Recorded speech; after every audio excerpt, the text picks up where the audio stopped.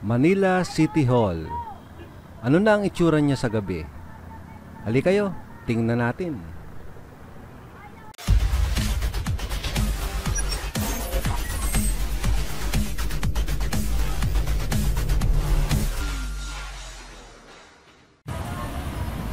Update lang po. Ito na po yung bagong bricks na inilalatag dito sa plaza. Ayan po. Ayan, babagong latag po yan. So, hindi pa po natatapos at ah, kanilang ah, kanilang ah, inilalagay pa po yan. So, yan po yung magiging itsura niya. At ayan po, gumaganda na ng gumaganda ang isa. Yan po yung dating bricks. Yan po. Ah, yan po, yan po yung dating bricks. At kanila po yung binabaklas. Yan po. Yan po. So, tingnan po natin kung ano magiging itsura pag natapos.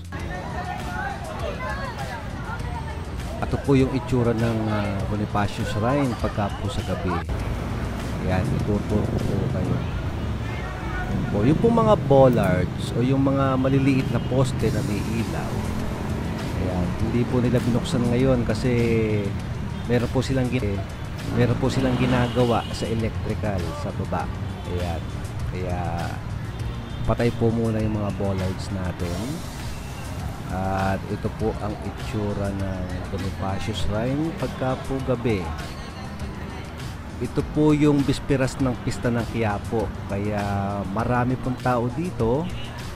At nagtayo po sila dito ng ah, command center ang mga pulis. Ayan po.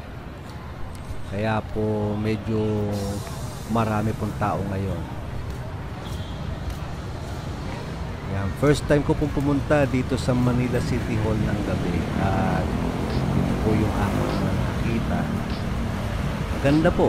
Magandang tambayan sa gabi kasi maliwanag, maaliwalas. Maganda po yung mga halaman. Ayan, green na green. At gaya po na nasabi ko dati, sinabon po nila yan. Yung pong mga pathway, yung pong ah, statue, sinabon po nila yan. Linis po nila. At ito po, tatamnan pa po nila to. Ayan, so nilagyan na po ng bagong lupa at pinatag. Yan. Tingnan po natin ha, kung ano pong magiging itsura nito pag may halaman na. Ayan. So gumaganda na po ng gumaganda. At sa ngayon po, ito ang itsura niya pagka po gabi. Ayan, oh. So, maganda na po.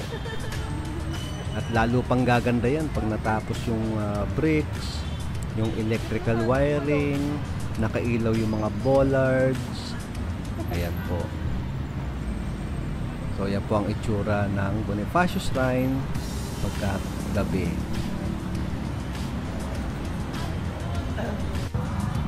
Oo nga pala. At saka meron pang free wifi, free internet.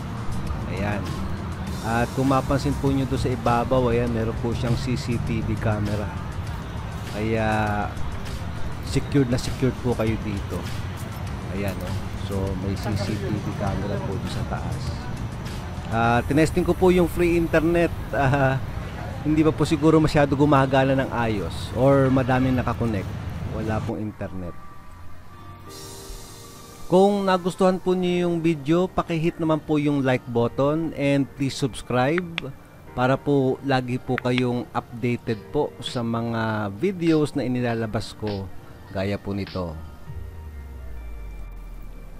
Nandito po tayo ngayon sa Lagos Nilad Underpass at ah, ang gusto ko lang pong ipakita sa inyo dito ay yung pong inilagay po na bricks dito po sa dingding ng underpass.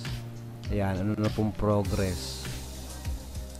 At kung mapansin nyo, yan po, ginagawa pa yung ah, pinaka-ceiling. At ito na po yung dingding na sinasabi ko sa inyo. Yan po, oh, ang ganda na. Yan po yung magiging corner ng ating underpass. Yan, ganda, no? At ito ang aayusin pa nila. May tagas po na tubig dito sa tabihan. Ayan, aayusin pa nila yan.